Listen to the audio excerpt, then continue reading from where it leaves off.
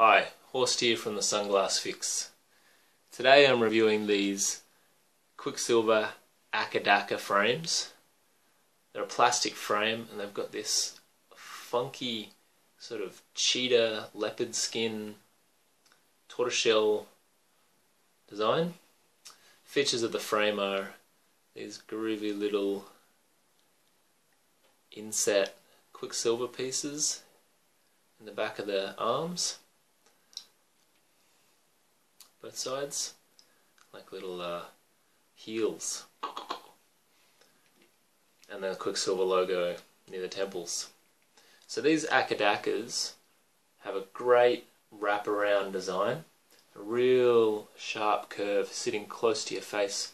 And sitting close to your face they do offer nice all-round protection but there is that little bit of sunshine and glare that could get over the top around midday or in... so the these are a plastic resin frame. They have a polycarbonate lens. Key points to watch out for on these frames are this hinge this type of hinge here very strong sturdy it's pretty standard in the industry. However if you torque it too much like too much of a twist it'll just pop out. These uh, resin frames and that it's just glued in there really it's just sat in there and if you torque it it'll pop out. If you're lucky when it pops out you just glue it back in. The resin of these frames the acetate that these are made out of feels quite brittle so I wouldn't be surprised if they break if they if they were sat upon. They just snap. They don't have they don't feel like they have much flex to them. You know, a little bit, you know, I'm scared. So the weak points are the brittleness of the frame and possibly this little bit of sun entry, if that's a concern for you.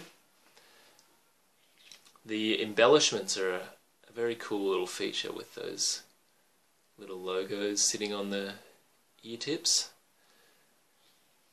So there are and they're a low price sunglass. They're not a they're not a very expensive sunglass. So give these, you know, an average. I give them a three and a half, four out of ten, because they do have good wraparound protection. They don't have a phenomenal lens quality, but they're not going to set you back a bunch of cash for a pretty good looking sunglass. So I hope that review, this review, helps you in your purchase decision, whether or not you'll buy these Quiksilver Akka Dakkas, or maybe you just need to get some new lenses. Click up here for new lenses, click down here for more reviews from the Sunglass Fix. Later.